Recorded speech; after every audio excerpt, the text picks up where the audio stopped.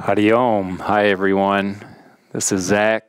Welcome back for more Hatha tips.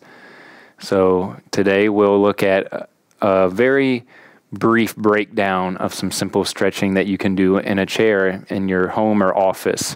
Many of us spend many hours in our chairs and hunched over computers. So, I'd like to mention the theme of all of our hatha yoga practices, the consistent pattern is that we have back bends, forward bends, twists, and inversions. So, if we can in- find ways in our daily life, such as sitting in our chairs, to incorporate these four kinds of movements, then we'll be right as rain. It will at least be very helpful throughout our day. So, in a chair, you can imagine you're working, you're working hour after hour. 30 seconds, you can hold the bottom of the chair or the back of the chair and use that pressure to help arch your back, lift the chest, lift the chin, and take a few breaths here. Allow the spine to stay in this extended shape and then release back to a neutral position and then in the opposite direction, a forward fold. And in this case, there can be some combination with the inversion.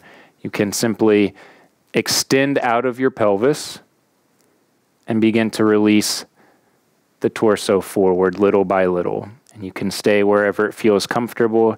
You may end up releasing your head all the way down.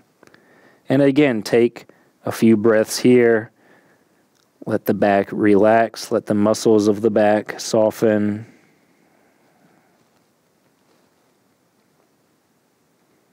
And then slowly begin to lift up. And then the last part of this very uh, simple practice is the twist.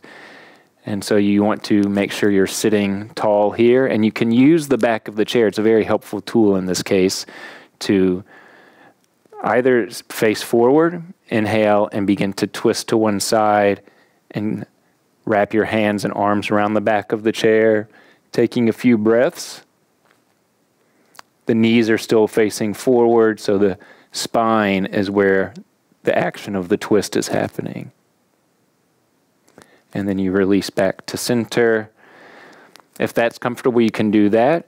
You can also sit on the side of the chair and this can be a little more gentle so that if we're going to the opposite direction, we'll sit tall and then use the back of the chair right here, hug towards the chest. The inner thighs can move towards one another. The feet are firmly planted on the floor. And then back to center. So it's a very basic and simple sequence. Uh, I imagine actually many of you, many of you watching um, are experienced with something like this, but it's a good reminder that fundamentally, that fundamentally, we want to include back bends, forward bends, twists, and if possible, inversions into our practices. So I hope this is helpful, and we'll see you next time. Om Shanti.